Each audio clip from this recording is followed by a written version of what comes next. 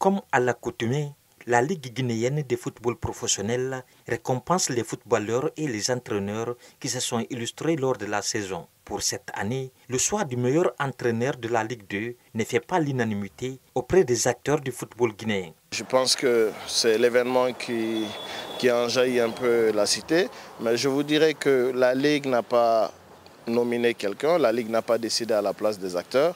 Nous, ce que nous avons fait au niveau de la Ligue, euh, le comité d'organisation a procédé à des séries de questions, a sorti des fiches de vote et a donné euh, pour les mieux imprégnés de la compétition, c'est les journalistes sportifs bien sûr, a envoyé les mails aux journalistes sportifs. Il y a eu quelques retours de mails, je vous dis clairement, euh, il n'y a pas eu 80 ou 90% de réponses, mais les réponses qui sont venues à la Ligue, c'est ces réponses-là, nous, nous avons recueilli parce que le comité qui était à la Ligue, ce n'est pas un comité technique, c'est le comité de centralisation.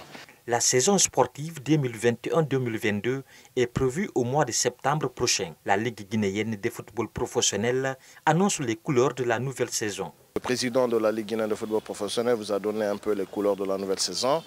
Euh, c'est l'organisation de la Coupe de la Ligue euh, qui est une nouveauté. Et la deuxième nouveauté, c'est l'obtention des terrains. Je profite de l'occasion pour remercier la Fondation KPC pour l'humanitaire qui nous a offert des stades.